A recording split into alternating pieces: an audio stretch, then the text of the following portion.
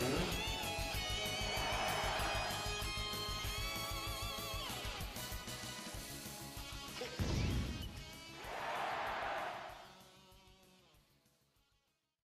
that concludes the video. If you enjoyed the showcase, consider donating to my Patreon.